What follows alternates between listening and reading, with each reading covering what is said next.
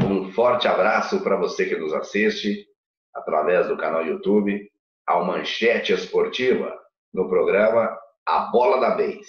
Bom, e hoje o que nós temos para falar é sobre a saída do Julia do Uberlândia Esporte Clube.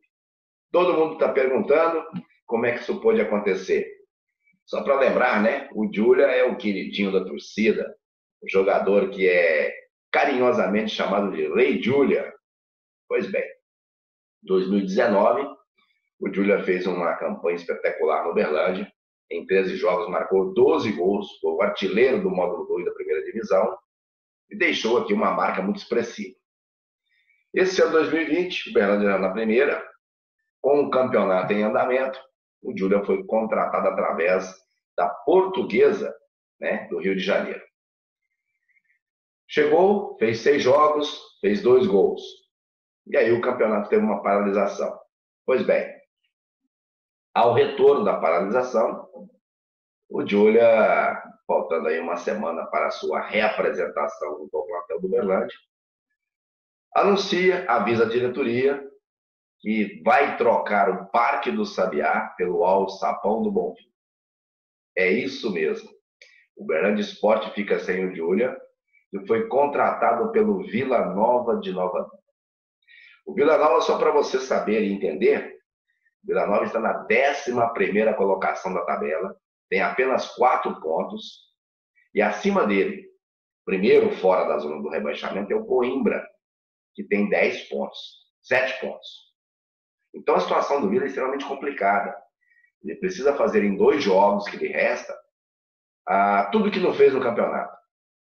Conseguiram vitórias, inclusive a primeira fora de casa contra o próprio Merlândia, para poder se safar do rebaixamento para o módulo 2. Bom, mas o caso às vezes nem é esse.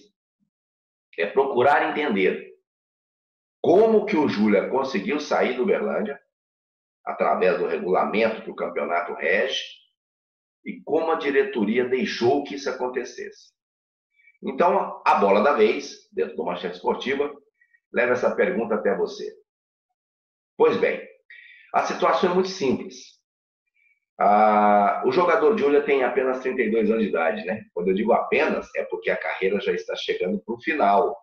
Sabemos perfeitamente que lá pelos 34, 35 anos, ele deve estar aí anunciando a sua aposentadoria. Como todo jogador imediatista, obviamente ele pensou na proposta financeira que o time do Vila fez para ele. E por que, que eu digo proposta imediatista? Porque ele vai ganhar um pouco mais do que ganhava no Berlândia, com a possibilidade de fazer dois jogos e depois ficar novamente desempregado. Caso o Vila consiga sair do rebaixamento, existe uma possibilidade no ano que vem está no módulo 1 da primeira divisão novamente. Mas a proposta do Berrante era muito mais interessante em termos futuro.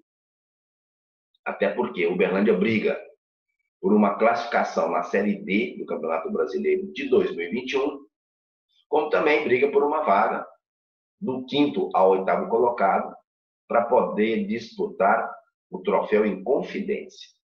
Então, a longevidade dessa história poderia ser muito melhor né? Se o Júnior ficasse por aqui.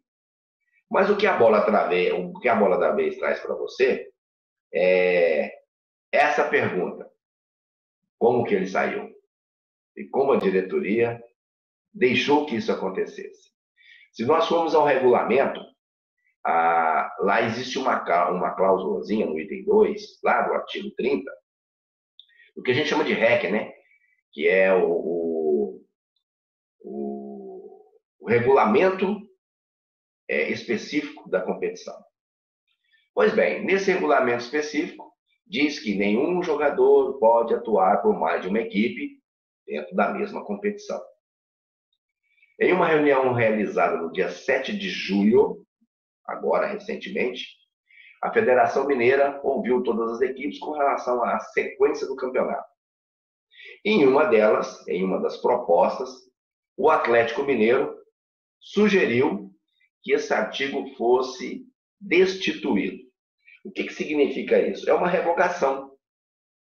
Né? Nessa revogação, o Atlético Mineiro pediu para que, em função da pandemia, em função da dificuldade de contratação, pagamento de jogadores, salários, entre outras coisas, que isso fosse revogado. Em outras palavras, significa dizer que o cara pode jogar em quantos times ele quiser para o final da competição. As duas rodadas que faltam e, logicamente, a sequência para quem se classificar para alguma outra etapa da competição. E, obviamente, 52 votos a favor, 26 votos contra, né? Essa revogação passou. E é isso, né? Que a bola da vez dentro do Manchete Esportiva traz para você a explicação, a justificativa de onde veio a possibilidade do centroavante Júlia sair do Berlândia e parar do Vila Nova, dentro da mesma competição. Pois bem, a outra situação é como ele conseguiu né, ludibriar, dar um chapeuzinho, uma canetinha na diretoria do Berlândia né, e trocar alguns reais a mais para poder disputar duas partidas para o Vila Nova. Bom, isso tudo fica como uma forma de exemplo, né? Porque jogador que beija escudo está por fora.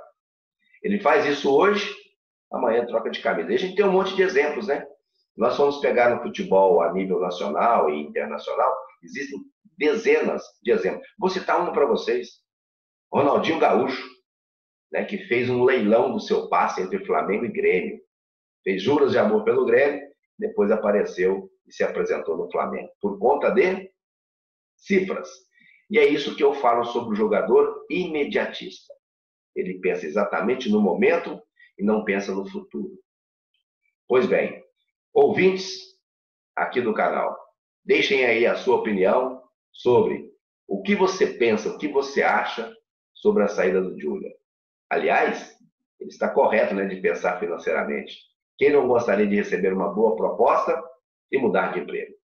Tá certo? Então, deixo aqui para você essa pergunta, nos responda, assista ao nosso canal e um forte abraço para você que está aí com a gente no Manchete Esportiva, a bola da vez. Forte abraço a todos.